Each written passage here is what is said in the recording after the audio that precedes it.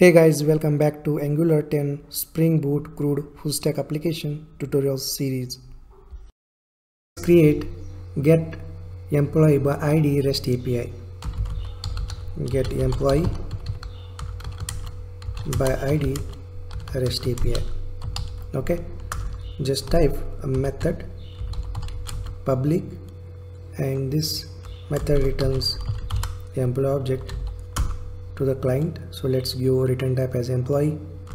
And let's give method name as get employee by id alright. And uh, we are going to pass id as a method argument right? Long id let's annotate this method with at the rate get mapping annotation let's configure the rest endpoint url over here. Employees slash id okay so this is a path variable. Now we want to map or we want to store this id value into uh, you know the java variable. So for that we are going to use at the rate path variable annotation to map this id with this variable.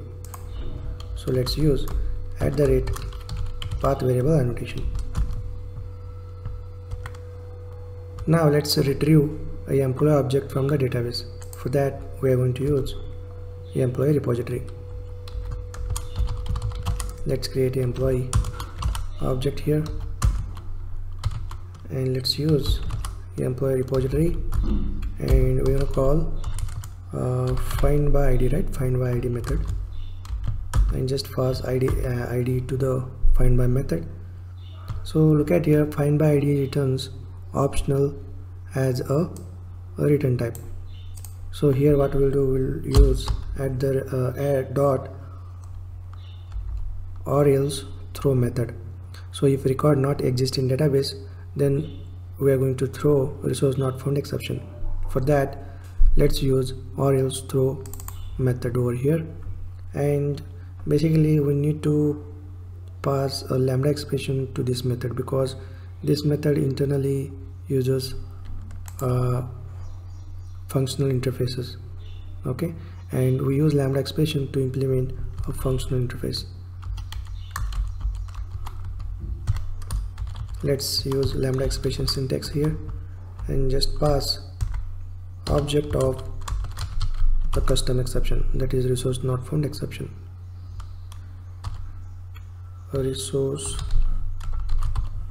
not found exception and just pass the custom message over here.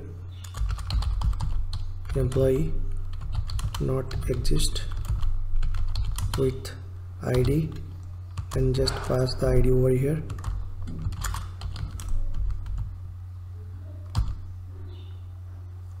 Let me break this statement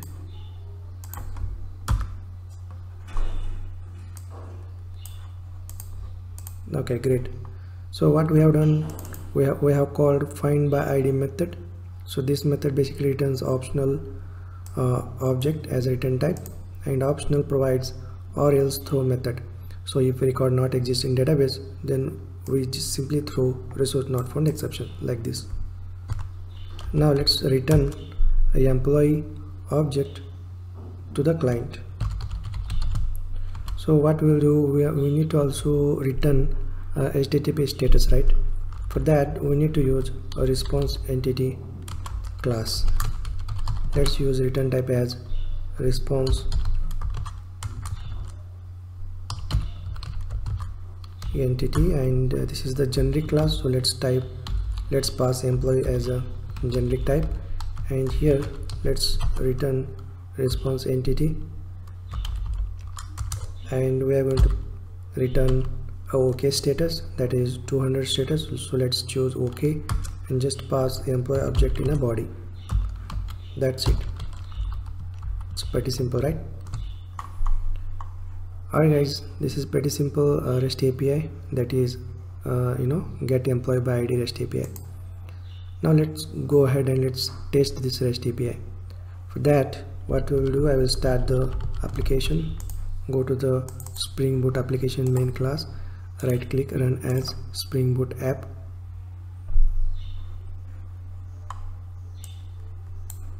Now look at here. Spring boot application is up and running on embedded tomcat server on port 080 now let's go back to the postman rest client and let us test this rest api open a new tab and just type localhost 8080 slash api slash v1 slash employees and here we are going to retrieve a particular employee.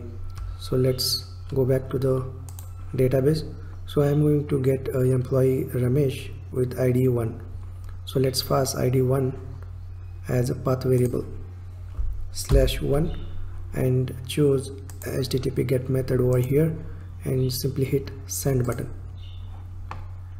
So this will retrieve a employee object with id 1 if you want to retrieve employee with id 2 just pass id 2 over here and just hit send button. So this will retrieve a employee with id 2 alright guys we have successfully created get employee by id rest api and we have tested uh, using postman rest client. Thank you guys for watching. I will see you guys in next one